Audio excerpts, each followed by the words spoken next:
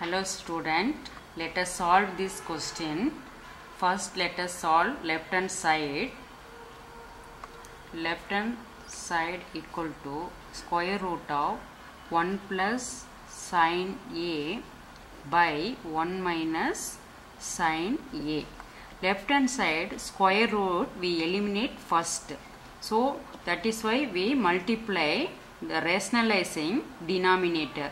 Rationalizing denominator means now 1 minus sine A is conjugate of 1 minus sine A is conju- conjugate is 1 plus sine A.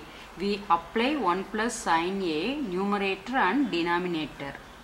So square root of 1 plus sine A into 1 plus sine A divided by 1 minus sine A into 1 plus sine A.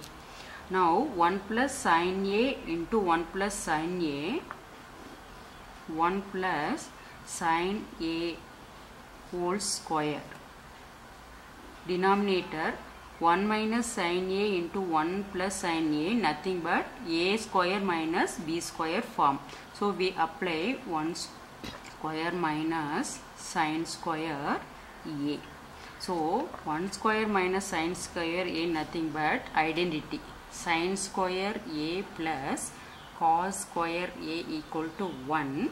So cos square A equal to 1 minus sine square A.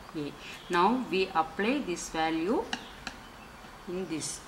So 1 plus sine A the whole square divided by 1 square minus sine square A is cos square A. Cos square A. Now you split the square root of 1 plus sine A whole square by cos square A. So now square square cancel here square square cancel. So remaining term is 1 plus sine A divided by cos A. Now split these two terms. So 1 by cos A plus sine A by cos A.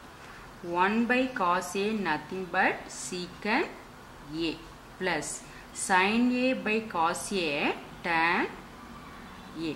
So now left hand side is equal to right hand side. Hence proved this question.